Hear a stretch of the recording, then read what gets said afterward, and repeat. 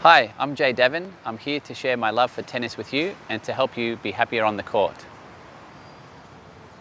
This is how to put on an overgrip for a right-hander.